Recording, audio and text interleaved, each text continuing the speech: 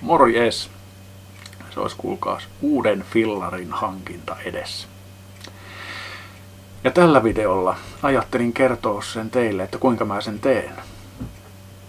Ajattelin ottaa vapaustyösuhdepyörän. Vapauden nettisivusta pari juttua. Eli, eli mm, täältä löytyy tosi paljon tietoa työsuhdepyöristä. Ja, ja tämä Vapauden nettisivut on aika kattava tietopaketti myös sulle, joka olet pyörää hankkimassa, mutta myös työnantajalle, joka on mahdollisesti tarjoamassa työsuhdepyörää.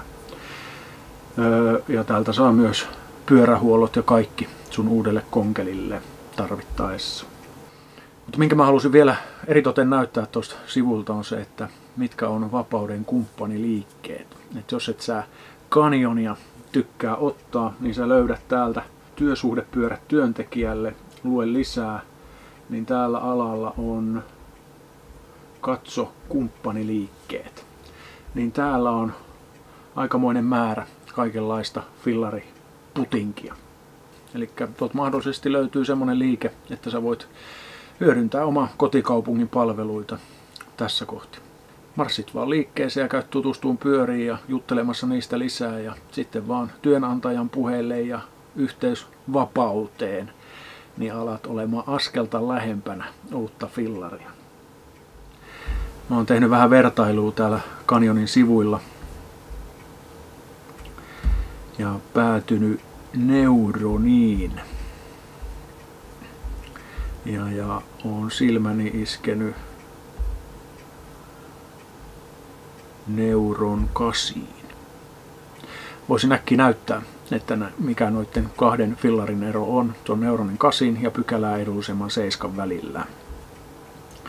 Toki hinta näissä on pikkasen erilainen, mutta niin, niin sitten täällä on pari eri juttu, mikä kannattaa huomioida. Joustohaarukka, niissä on vähän erilainen. Ja pelkästään tuon joustohaarukan päivittäminen parempaa joskus myöhemmin, niin, niin se ei riittäisi toi fillareiden hintaerotus siihen. Eli pelkästään toi on mulle semmonen merkittävä juttu, minkä takia mä valitsin tuon kasin. Mutta ne, näiden fillareiden erot ei rajoitu siihen. Tuossa kasissa myös on isompi akku, kestävämpi. Se on 12 vaihteinen, kun taas sitten toi 7 on 10. Mm. Ja tässä oli vielä jotain. Niin, jarrut. Jarrut on myöskin pykälää paremmat.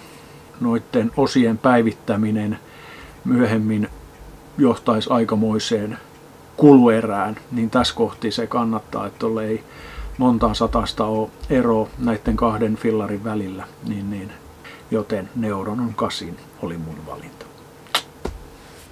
Ja sitten tota, on valmiiksi jo lyönyt tänne ostoskoriin kaikki mitä tarvitsee. Eli fillari ohella kannattaa tilata nyt ainakin polkimet.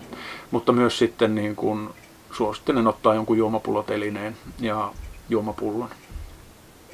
Ja sitten mennään Vapauden sivuille.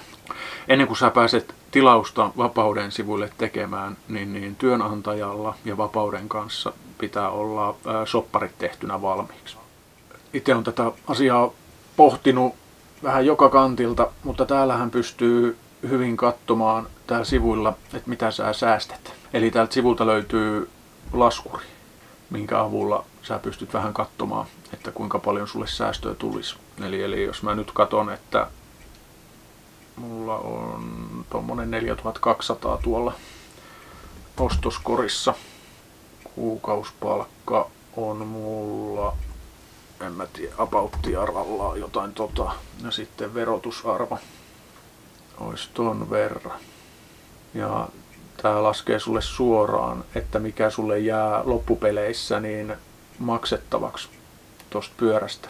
Maksat pyörästä ja valitsemastasi palvelupaketista lunastuksen kanssa 3240 euroa.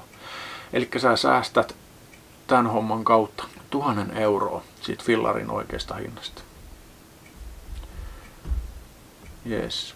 Ja itse päädyin siihen 48 kuukauden pakettiin, joten, joten mulla lähtee noin 100 euroa palkasta joka kuukausi 48 kuukauden ajan.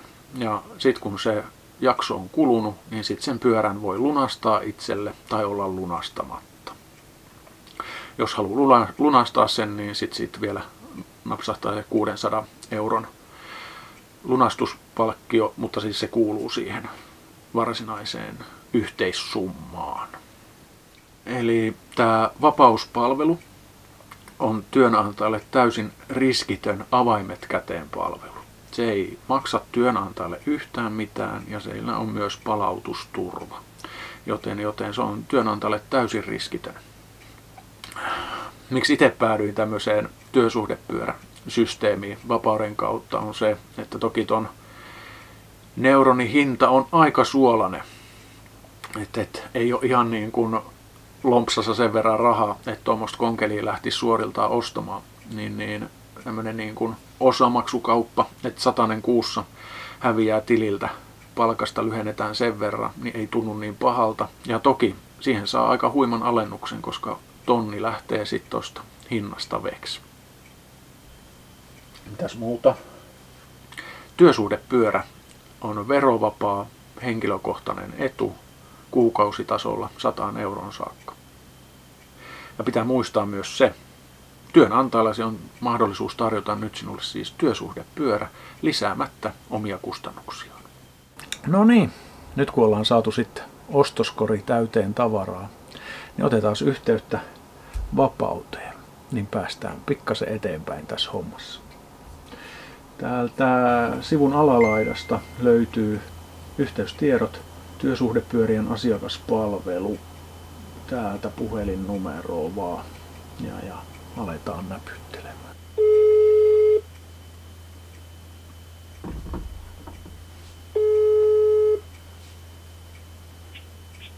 Jukka Toiveri. No se on kuule Halttusen Jaska tässä tervehdys. Terve, terve. Hei! Meikä on hankkimassa tässä uutta fillaria ja ajattelin hommata tämmöisen työsuhdefillarin ja eksyin teidän sivuille oikeastaan kanjonin kautta, koska teidän kautta sais kanjonin pyörän tilattua. No kyllä, kyllä. Onnistuu. Tota, käytännössä tuo kanjonin tilausprosessi tällä hetkellä toimii sillä tavalla, että katot sieltä tota, sopivan pyörän ja, ja mahdollisesti siihen tarvikkeet, mitä haluat lisäksi.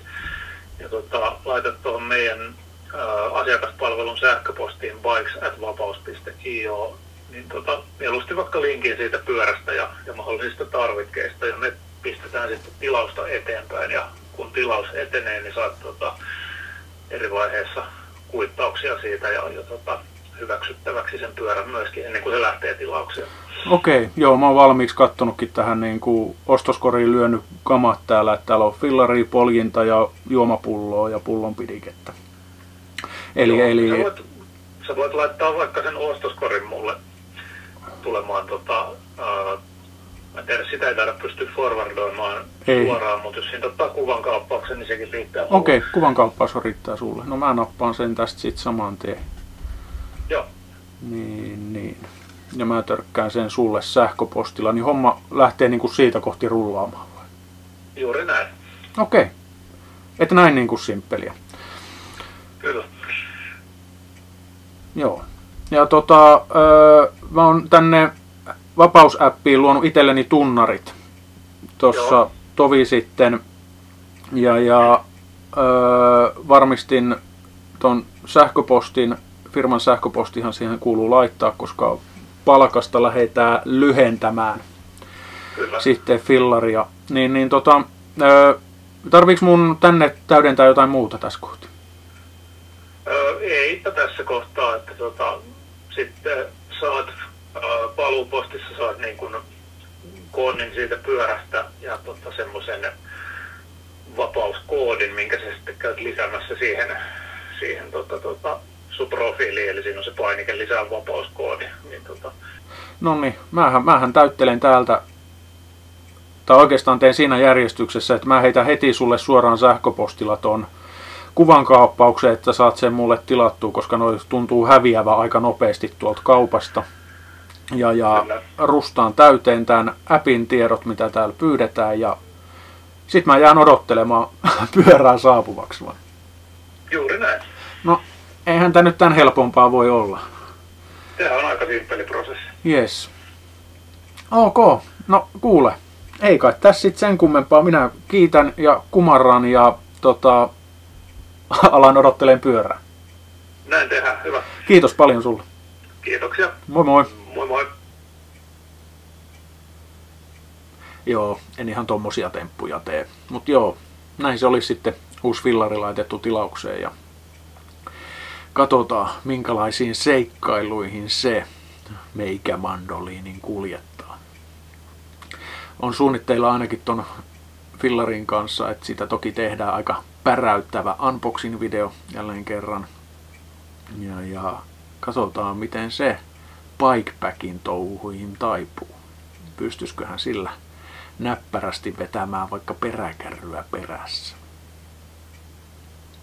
Mutta uusiin videoihin ja uusiin seikkailuihin. Fillaripäiväkirja kuittaa. PS. Ää, tota, Vapauden sivuilta löytyy myös pyörät työnantajalle kohta, jonka sä voit vinkata työnantajalle, että käyppäs lukemassa sieltä, että kuinka helppoa tämä oikeasti on.